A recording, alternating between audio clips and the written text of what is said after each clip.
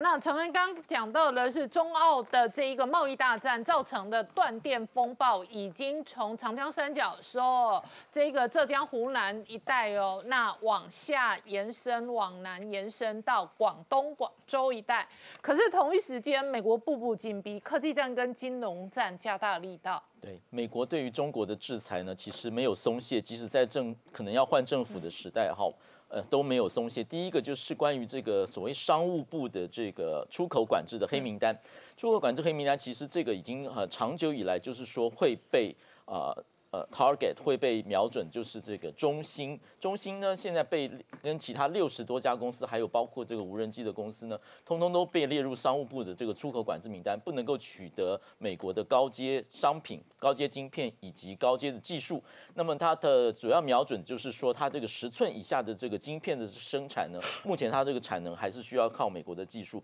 那么它现在呢就没有办法呃取得。那它呢其实是一个军工业，就是它的。从这个中国政府取得十亿美元的每年的这个政府的补贴哈，所以那个前前一阵子国防部就把中兴呢列为跟国防军工有关的企业，那么现在呢正式的列入那个商务部的黑色的这个黑名单的制裁。然后中国的这个这个目标是希望能够晶片能够自给自足，那么他现在因为处处理到这个呢，就会遭到很大的挫折。同时间，这就是他的这个人事中间有变动。我们这个中中国媒体的报道说呢，因为他最近聘了一个副董，叫做蒋尚义。蒋尚义过去是台积电的这个董营运长，那么他后来跳槽到中，他后来跳槽到武汉的这个红红星，那么现在呢被中兴挖过来，那么因此呢这个梁孟松这个科技长呢非常生气就离开了，那么可能对中兴的这个产业有更进一步发展，但是现在中国的企业报道说呢，说其实他是要跟荷兰的叫 ASML 去讨论要取得这个极紫外光的微影技术，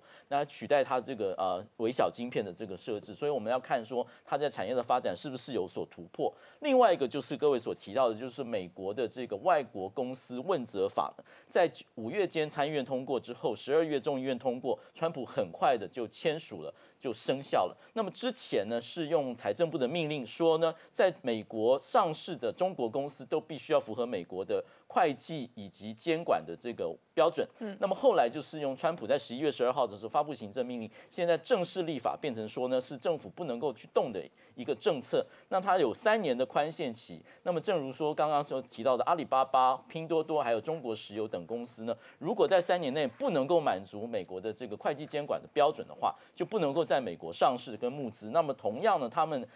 先是在中国上市，募资了大概五百亿美元之后，又在香港上市。那么他现在就是希望就进入美国的这个证交所的这个呃国际的这个贸呃募资的这个平台。那么现在呢会遇到挫折。那么因此中国的外交部发言人华春莹就说呢，美国这样子会削弱他自己的这个资本市场的其他人投资人对他的信心。那么其实美国呢是在保护美国的投资人，不要跟中国的军工产业相关的企业呢有所的投资。另外一个相关新闻是美国起诉了这个 Zoom，就是网络的公司的一个一个管理的员叫一个管理人叫做新金香的，那么他呢涉嫌在这个。呃，六四纪念六四的许多的政治还有宗教的这个网络的会议中间呢，去骚扰人家，然后去变造人家的，去让人家开不成会。那么被这个司法部调查后，正式在纽约的布鲁克林的地方法院起诉他。如果成罪的话呢，可能面临十年的监禁。那么他现在已经逃回中国了呢。那目前不知道是说能不能把他拘捕到案。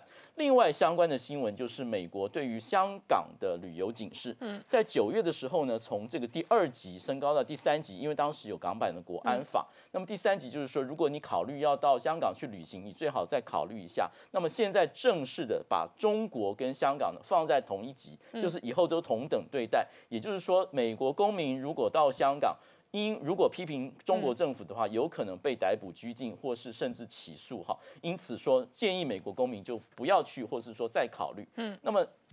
美中呢现在进入相互制裁的阶段，美国通过外国公司问责法，中国依照它的外商投资法还有国安法，现在颁布了一个叫做安审条例，就是外商投资安全审查办法。那么它是经过国发会跟它商务部联合去组成一个去审查外国的投资，特别是关于几个产业，第一个是关于军工业、农业、能源业，还有基础建设业这些，如果有外资的话呢，就需要比照其他的国家看一下这些外资会不会影响到国际国家安全，如果会影响的话，就会有。相当多的这个审查的程序。另外呢，企业也可以去呃申请说某些外资可能有国安的疑虑，请求检查。那同样也包含港商或是台商的投资。那么当然是台商是说呢，我们是不会去呃影响到国安的，因此呢，可能台商的投资还是安全的。好，我们稍后回来。